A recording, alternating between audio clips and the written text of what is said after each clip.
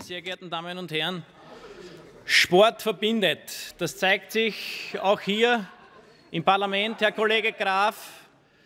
Sport verbindet, das zeigt sich hier im Parlament, Herr Kollege Graf, wo sich Kolleginnen und Kollegen der verschiedensten Parteien auch zu einem Fußballteam zusammengeschlossen haben, um jedes Jahr aufs Neue bei einem Turnier der Parlamentarier gegen ähm, Parlamentarier aus anderen europäischen Ländern auch teilzunehmen und anzutreten.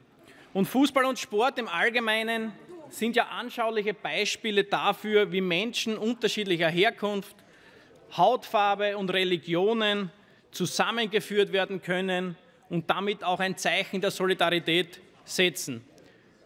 Auch die Präsenz von Spitzenpolitikern bei Großsportereignissen wie Olympischen Spielen, Welt- und Europameisterschaften die zeigt ja auch, diese Präsenz, dass Sport eine politische Dimension auch hat.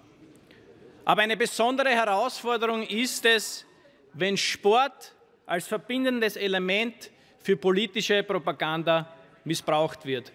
Und liebe Kolleginnen und Kollegen der FPÖ, Sie verkennen die Situation. Wir reden hier immer noch von einem völkerrechtswidrigen russischen Angriffskrieg auf die Ukraine. Und ukrainische Sportlerinnen und Sportler dürfen nicht in die prekäre Situation kommen, sich auf sportlicher Ebene mit russischen Athletinnen und Athleten messen zu müssen, die Angehörige des russischen Sicherheitsapparates sind. Wenn es aber keine Sanktionen gibt, so wie Sie das wollen, akzeptieren Sie, dass bei internationalen Bewerben ein Land, das von einem Kriegstreiber regiert und diktiert wird, auch mit Flagge und Hymne repräsentiert wird. Aber genau um das geht es. Genau das darf nicht passieren. Man darf Kriegstreibern keine Bühne auf der sportlichen Ebene geben, meine sehr geehrten Damen und Herren.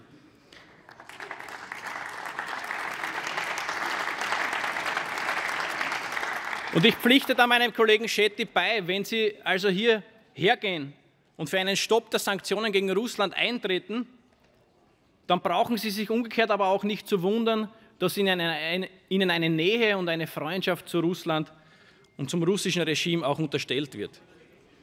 Es ist also unvermeidlich, dass wir im Sinne einer strengen Auslegung den Empfehlungen des Internationalen Olympischen Komitees folgen und auch auf Sanktionen oder für Sanktionen auf sportlicher Ebene eintreten.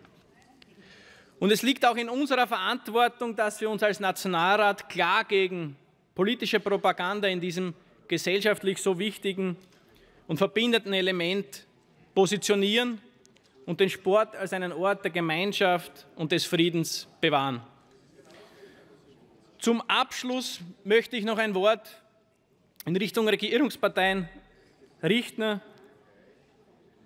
Wir haben im letzten Ausschuss wieder einige sehr gute Anträge eingebracht. Und obwohl sie unsere Anträge für mehr legale Mountainbike-Strecken beispielsweise sowie für mehr Schwimmkurse und eine bessere Schwimminfrastruktur für inhaltlich gut befunden haben, haben sie diese wieder schubladisiert. Das ist aber nicht nur schade für die zahlreichen Mountainbiker, die sich auf den illegalen Forstwegen bewegen müssen, weil es hier noch immer keine Lösung gibt, sondern vor allem tragisch, wenn man bedenkt, dass 160.000 Kinder und Jugendliche in Österreich nicht schwimmen können. Maximilian Kölner von der SPÖ war das. Er ist Bürgermeister von Ilmitz.